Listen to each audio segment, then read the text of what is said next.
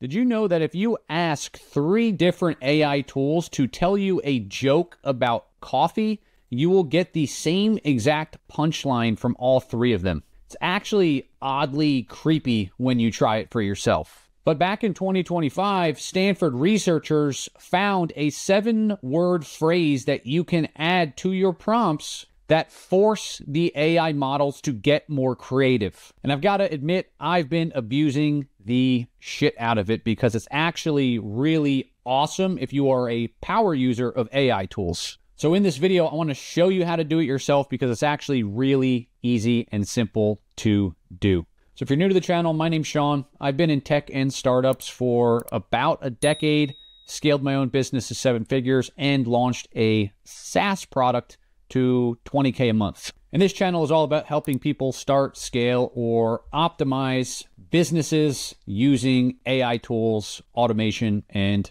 tech. So if that describes you, welcome. And if it doesn't describe you, we'll get the out of here.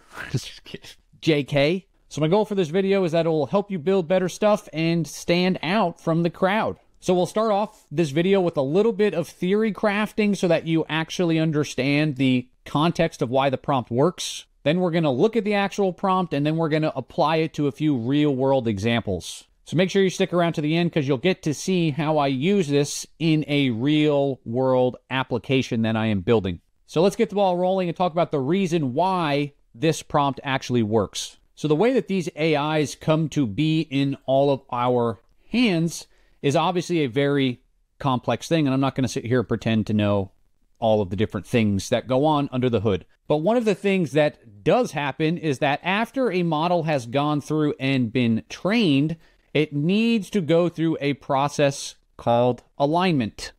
So it needs to be aligned, which, yes, sounds like a phrase out of a dystopian movie, but that is besides the point. But what this aligning actually does is it makes the outputs of the model less diverse. What that means is the outputs tend to be a lot safer and more predictable. This is why when we asked three different models the same exact tell me a coffee joke line, we got the same safe, predictable punchline out of all of them. Now, according to this paper, this effect that happens is known as mode collapse, which isn't really important that you know the name of that unless you want to sound really smart and go repeat it to other people. But the point of all of this is the people that are helping to create the models that go through this alignment process can actually inject their own biases into the alignment.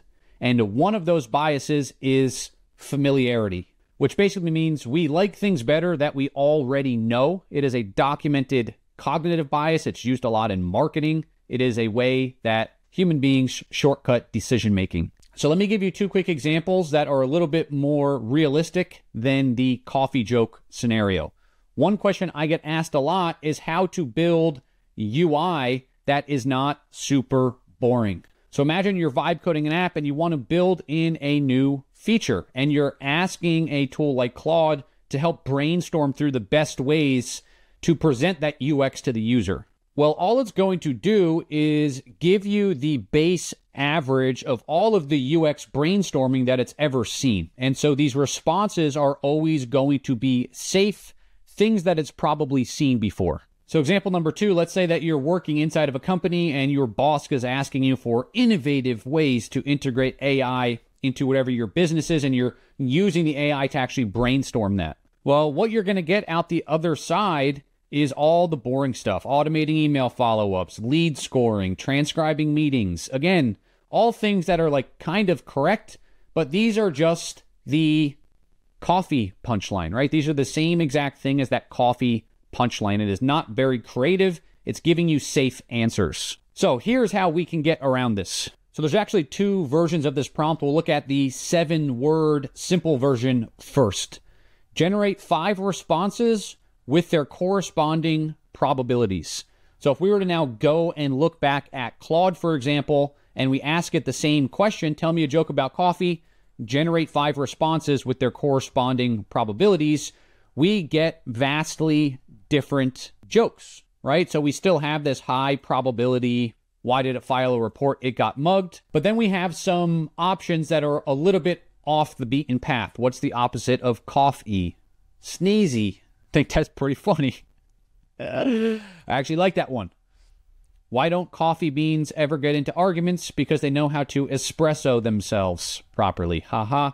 And now if we go over to ChatGPT, we can see that we are now getting, again, entirely different jokes that didn't even show up in the Anthropic response. I told my coffee it was getting cold. It said better latte than never. Kind of funny. So now let's talk about why this actually works. If we were to imagine a graph for a second, let's say that we have a bell curve, and let's say that this bell curve, if we draw some lines down the middle, you're going to see how amazing I am at statistics in a second. Let's say that 80% of all of the responses we could ever receive from the language model are in this middle piece, right? So this is going to be our main 80%, and we could say that this is like the the safe responses.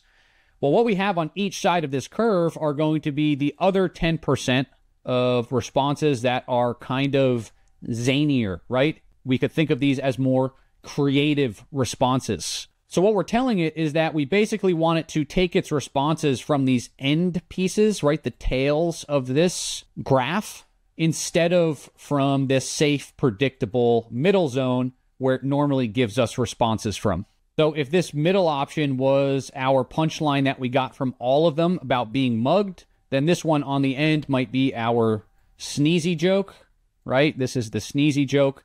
And then on this side, we're going to have a, a different response, which was maybe that, you know, it was late joke, the latte joke. So that's what this whole system is about, specifically telling the system not to pull responses from this safe, predictable middle zone and instead to pull them from these more unexpected edges, which are more creative responses. So, like I said, I want to show you a real life example of where you would use something like this. So, I have this app that I use here for myself to make thumbnails. You might recognize some of these from the channel. And this new feature that I just added in allows me to brainstorm concepts for a thumbnail. So for example, you can come in here and you can say what the concept of the video is. Let's use this video as an example that you are watching. It's a video about how Stanford researchers discovered this phrase that improves the creativity of your outputs by 1.6 to 2.1 times. So now what it's going to do is it's going to go through and it's going to generate thumbnail concepts based on this specific entry. So we can see once this thing runs through, we have now five different unique concepts that would be the basis of this thumbnail, right? So we have the seven secret words, which would be a close up of a person revealing some secret glowing thing. We have AI creativity unleashed.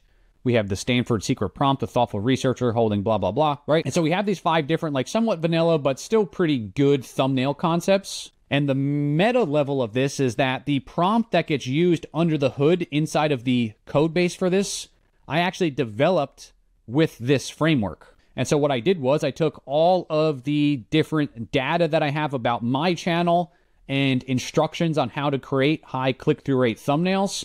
And I told it to merge this all into a master prompt that I can use in this app. And I want you to generate five different responses with their corresponding probabilities.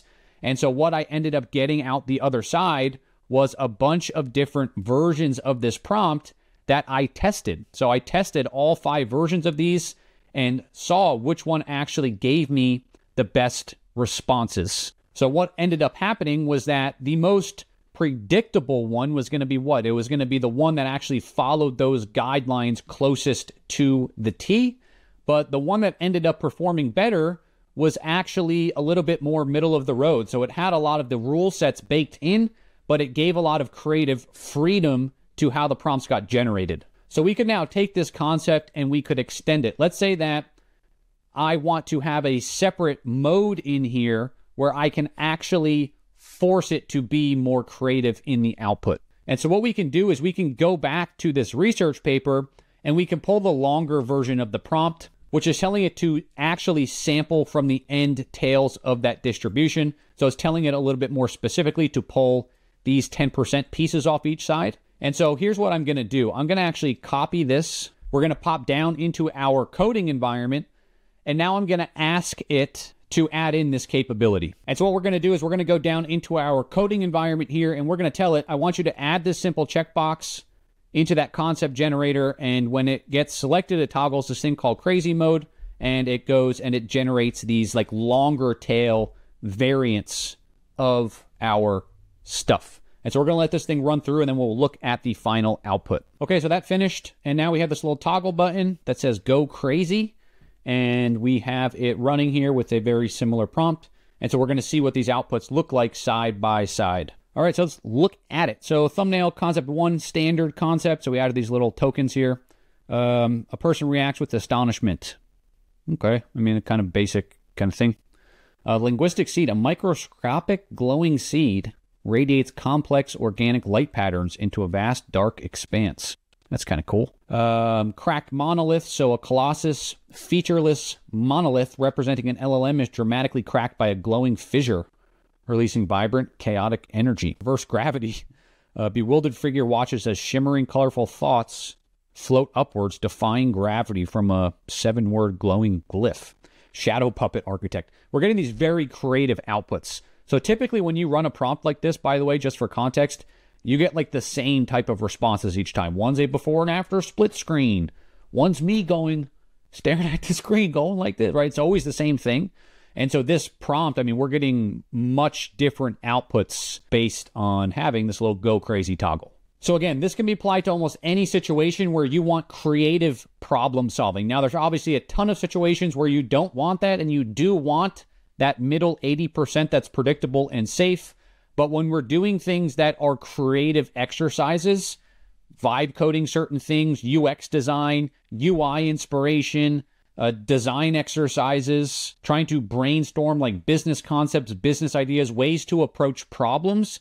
Those are all things that benefit from creative brainstorming. So, again, anytime you're in one of these creative problem solving type of situations, this is a great thing to use because by default, models are going to give you safe answers. So that's it, guys. If you liked this video, I'm going to link, I think right here, hopefully it's on this side of me. If not, it's on that side, a video where we take this concept and do something very similar to use language models to brainstorm different hypotheses, hypotheses about how to solve problems. It's actually an incredible system that helps us avoid something called narrative lock which is basically where language models will lie to you because it sounds better than saying, I don't know. So check out that video if you are interested in this type of stuff. That is it for this video, though. I will see you in the next one.